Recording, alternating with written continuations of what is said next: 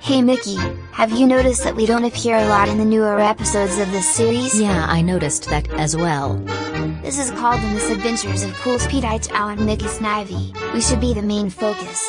Hey, it isn't as stupid as people requesting copyrighted characters and overused ideas from previous episodes non-stop.